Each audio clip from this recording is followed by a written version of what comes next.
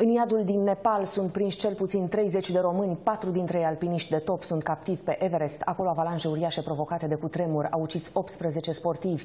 Un al cincilea român a scăpat ca prin miracol. Marius Iliescu a decolat spre casă cu doar 30 de minute înainte de seismul în care au pierit peste 4.000 de oameni.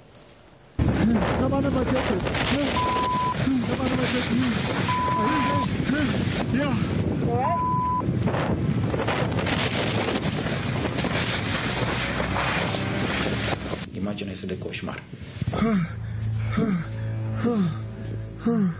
E momentul în care muntele se prăbușește peste sute de oameni. Mii de tone de zăpadă, gheață și stânci cad cu viteză într-o avalanșă devastatoare. Un supraviețuitor se luptă pentru fiecare respirație. Se aud voci în crevase de oameni care au căzut în crevase și care nu pot fi ajutați. Din păcate nu pot fi ajutați.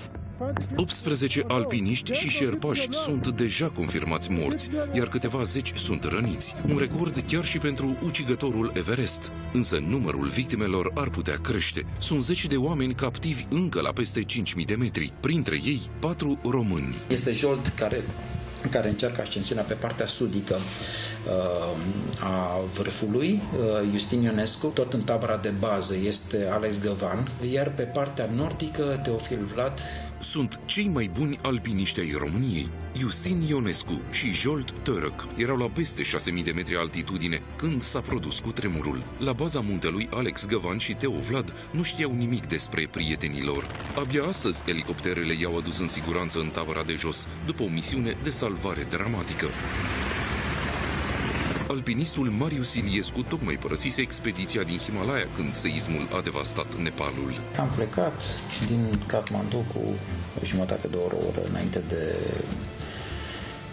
de tragedie. Am avut noroc, am fost oprotit de zei. Abia la aterizarea în România a aflat despre catastrofă. Se simte norocos, dar suferă pentru prietenii pe care i-a lăsat în Nepal.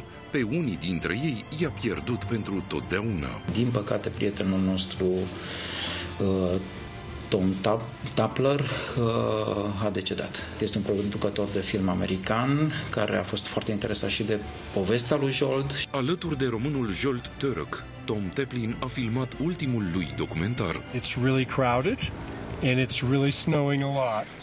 And it's pretty crazy. El a murit chiar în tabăra unde se mai află și acum trei alpiniști români. Doar Alex Găvan a reușit să părăsească în zbor muntele Everest.